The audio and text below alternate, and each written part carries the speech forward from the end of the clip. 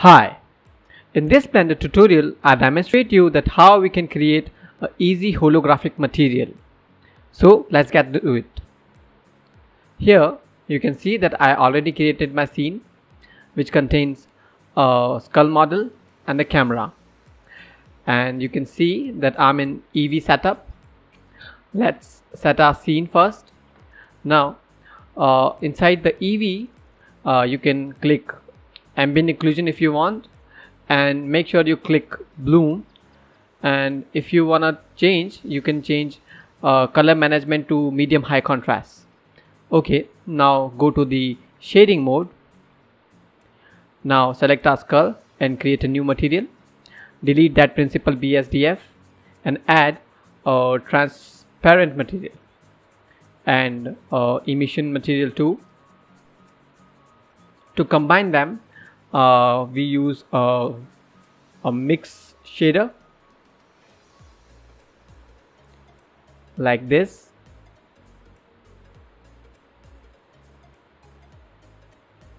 Okay. And go to the material tab. Under the setting just change it to alpha blend and alpha clip. Okay. Uh, now add a Fresnel node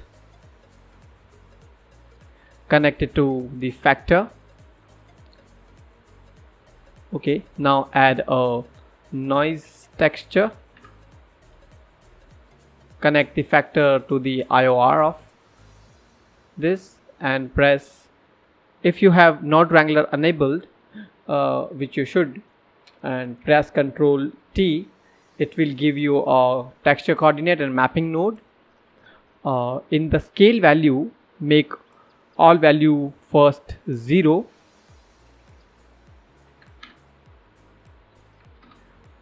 okay. And now add a color ramp in between the noise texture and the Fresnel node. You can slide this slider like this. And under the scale value now look for the lines which come horizontal in my case it is z. Make it 1 okay. And now increase the scale of the noise texture. Like this. I'm just making my environment black. So it's pretty basic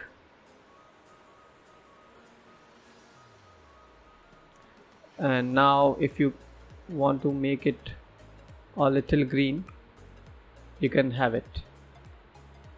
Bloom. Okay. Uh, this will also do but I wanna add uh, another Fresnel node so I'm just copying it and make this value 1 make a mix RGB and connect the both Fresnel node and connect to the factor. Okay. And uh, move it like this. So without this and this. Like by combining them 0 5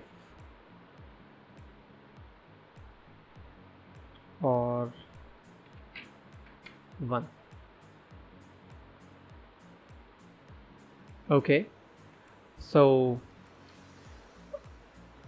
if you want a static render it is it will work. But if you want to move that lines uh, just go to the mapping coordinates and uh, move that value.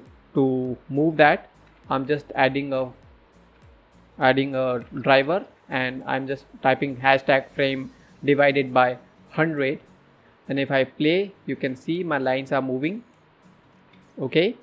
And I'm giving another driver by typing hashtag frame divided by 50 50 or 10 I, I believe. Okay. Now you can see that it is like and working. And this is my node tree so